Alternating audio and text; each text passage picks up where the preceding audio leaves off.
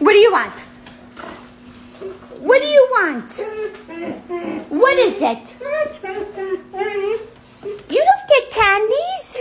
You can't have a candy. You don't get a candy.